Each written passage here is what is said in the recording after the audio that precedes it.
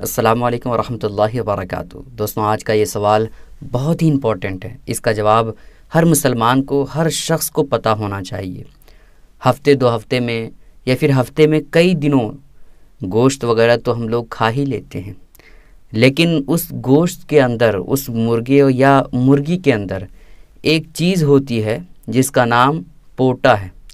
उसे पथरी भी कहते हैं और जिस जगह लोग रहते हैं उस एतबार से उसका नाम अलग अलग लोग लेते हैं।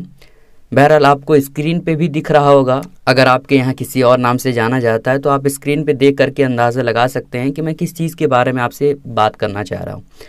पोटा जिसको पथरी कहते हैं तो उस चीज़ के बारे में बहुत सारे लोग शक में मुबतला रहते हैं और सोचते हैं कि इसको खाना चाहिए या नहीं। और जाने बगैर ही वो खाने से रुक जाते हैं। या बहुत सारे लोग जानते भी नहीं हैं कि इसको खाना चाहिए या नहीं। इसके बावजूद वो लोग खाने लगते हैं।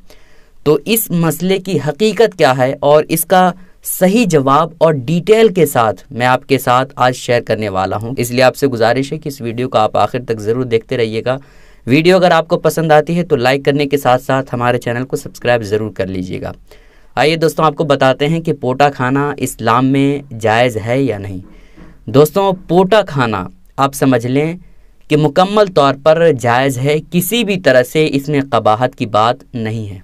अब यहाँ बहुत सारे लोगों का जहन इस बात की तरफ़ जाता होगा कि भाई पोटा जो आ, मुर्गी वगैरह दाने चुन करके जो गंदगी जिस चीज़ में रहती है आ, उसको पोटा पथरी कहते हैं। तो बहुत सारे लोगों का जहन इस बात की तरफ़ भी जाता होगा कि भाई पोटा जिसमें गंदगी होती है जब उसको खाना जायज़ है तो ओझड़ी ये कराम ने, बहुत सारे कराम ने इनको नाजायज़ क्यों करार दिया है? जबकि पोटा और ओझड़ी ये दोनों एक ही चीज़ है कि दोनों में गंदगी चीज़ें जमा रहती है। तो जिस तरह से ओझड़ी खाना सही नहीं है, उसी तरह से पोटा खाना सही नहीं होता। इसके सही होने की बात क्या है? हकीकत क्या है? पोटा खाना जायज़ है, इसकी दलील क्या है? तो मैं आपके सामने बता देना चाहता हूँ कि पोटा, पोटे के ऊपर से, पोटे के ऊपर से एक पर्दा रहता है, जो बिल्कुल नाजुक पर्दा रहता है।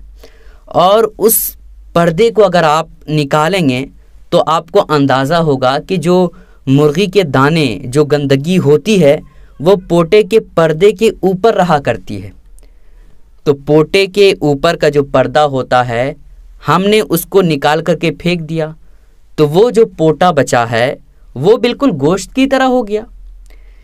चूँकि गंदगी जो थी वो पोटे के ऊपर जो पर्दा था उसके ऊपर रहती थी। जो आ, पोटा था उसके ऊपर गंदगी नहीं रहती थी। और जब हमने उस पर्दे को निकाल करके फेंक दिया तो वो गोश्त की तरह हो गया। इसी वजह से जायज़ है। और रही बात ओझड़ी की, कि बहुत सारे कराम ने इसको खाने से मना किया है। और कुछ कराम ने कहा कि भाई खा सकते हैं, लेकिन बहरहाल बात सही यही है कि उसको ओझड़ी को नहीं खाना चाहिए।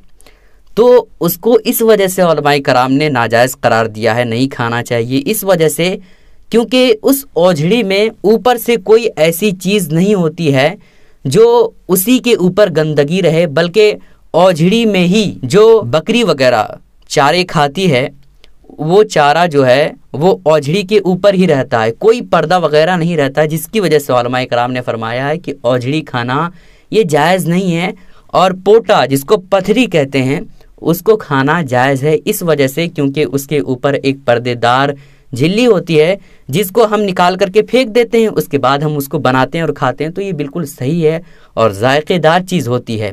तो पोटा खाना बिल्कुल सही है। किसी भी तरह से कोई नाजायज़ या कबाहत की बात नहीं है, लेकिन शर्त यह है कि उसके ऊपर जो पर्दा है, उसको निकाल करके फेंक दें, उसके बाद बनाएँ, और जो भी पोटे खाते हैं, वो इसी तरह खाते हैं कि उसके ऊपर जो पर्दा होता है, वो निकाल देते हैं, उसके बाद वो बनाते हैं और खाते हैं। तो ये बिल्कुल सही है, किसी भी तरह से कोई कबाहत की बात नहीं। उम्मीद करता हूँ कि आपको ये वीडियो पसंद आई होगी। दोस्तों, पसंद आने की ज़रूरत में वीडियो को शेयर कीजिएगा, वीडियो को लाइक करने के साथ साथ चैनल को सब्सक्राइब कर लीजिएगा। फिर मिलेंगे किसी अच्छी वीडियो के साथ। असलम वरहमल वर्का